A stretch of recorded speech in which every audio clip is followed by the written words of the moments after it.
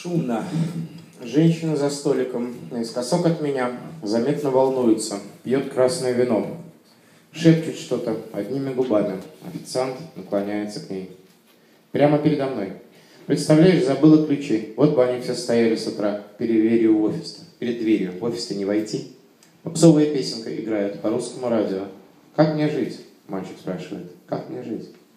Я знаю, что со временем все мы изменимся, станем чем-то другим.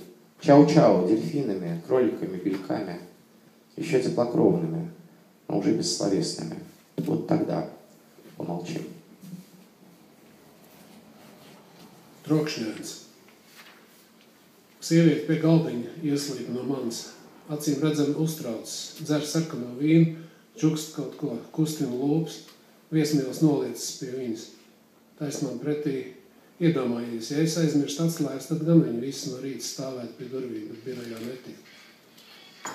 Popa dziesmiņa skan pa krievu rādio. Kā lai es dzīvoju, puika prasa, kā lai es dzīvoju. Es zinu, ka ar laiku mēs visi pārvērtīsimies. Kļūsim par kaut ko citu. Čau, čau, delfīniem, trušiem, vāveriem, vēl siltām vasenīm, bet bez valodas. Lūk, tad paklusēsim.